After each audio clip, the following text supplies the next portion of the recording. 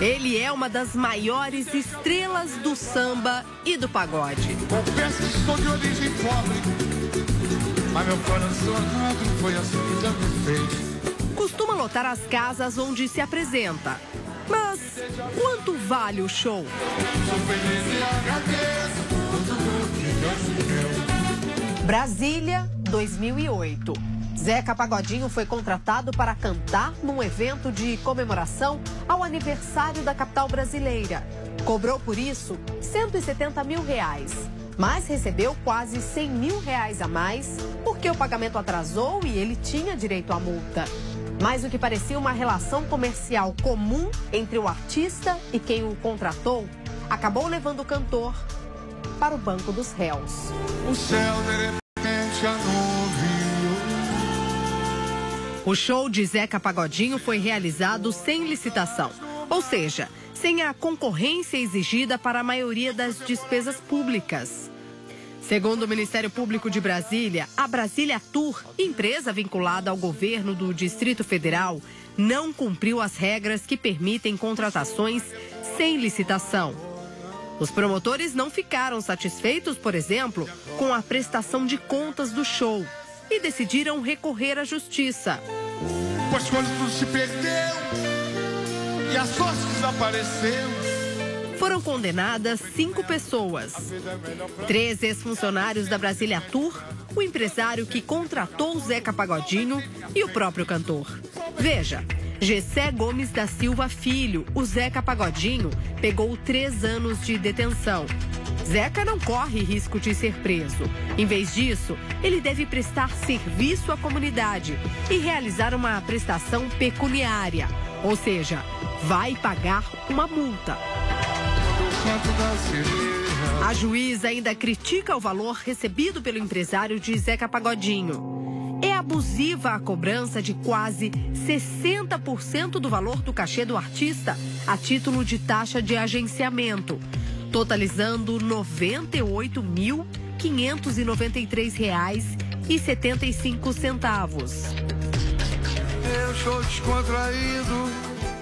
Sobre a decisão de contratar Zeca Pagodinho, a sentença diz que o aniversário de Brasília poderia ter sido comemorado com qualquer show artístico, pois Zeca Pagodinho não é um cantor que tivesse laços com a cidade. Onde o Zeca tiver, lota. O show dele é ótimo, é muito bom. É Zeca Pagodinho, né?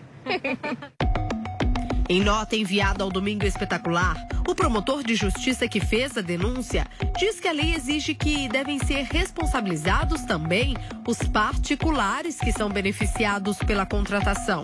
É por isso que Zeca Pagodinho também foi condenado. Não tem cabimento isso, né? Os advogados de Zeca Pagodinho vão recorrer da sentença.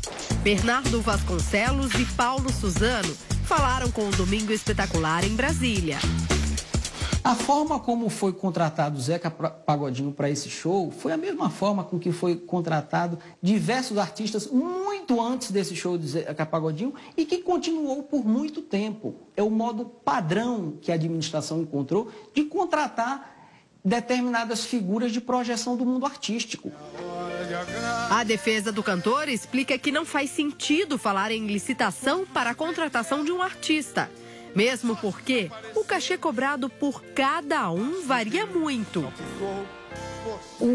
O administrador público quer con- contratar Roberto Carlos, ele não vai licitar Roberto Carlos. Ele encaminha uma contratação com Roberto Carlos. Achou por bem, naquele momento, entre outros, contratar Zeca Pagodinho, direcionou a contratação para Zeca Pagodinho. Não é a primeira vez que o contrato do artista com o governo causa polêmica. Gente que vive chorando. Sinto sol dourar a minha pele. Há três anos, o governo pagou 650 mil reais à cantora Ivete Sangalo para participar da inauguração de um hospital. De manhã. Nesta semana, vereadores da oposição ao prefeito Eduardo Paes do Rio anunciaram que vão pedir uma auditoria na contratação de artistas para o Réveillon de Copacabana. Eles acham muito caro o valor dos cachês. No total, a prefeitura vai gastar pouco mais de 1 milhão e 600 mil reais com a contratação de músicos. Quase metade desse valor, 800 mil reais, servirá para pagar o cachê da principal atração da festa, justamente o cantor Zeca Pagodinho. Zeca, você vai ser a primeira atração do novo ano, a primeira de meia-noite. O que, que você espera para 2016 na nossa cidade? Muita paz, muita alegria, num país melhor, porque tá brabo. Na mesma entrevista em que falou sobre o show, Zeca Pagodinho comentou a condenação que sofreu em Brasília. O áudio é da Rádio Tupi. Eu acho puro, é, vamos te dizer, preconceito, porque me perguntar por que, que eu não posso representar Brasília. E se me perguntar se o meu show é caro, é caro, porque é bom e paga quem quiser. Agora, jamais eu, eu posso me enquadrar como fraudulento, isso aí jamais.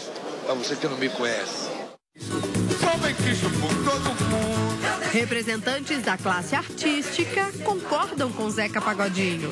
Os trâmites mais burocráticos de um show, como o cachê ou mesmo os gastos, por exemplo, não são acertados diretamente com os artistas. Quem contou pra gente um pouquinho desses bastidores foi o grande músico Martinho da Vila, que aceitou receber. Tudo bem, Martinho? Tranquilinha? Aceitou receber o Domingo Certo. Espetacular aqui para falar sobre esse assunto. E pra gente entender também como que é essa relação do artista, que é a estrela, com o contratante.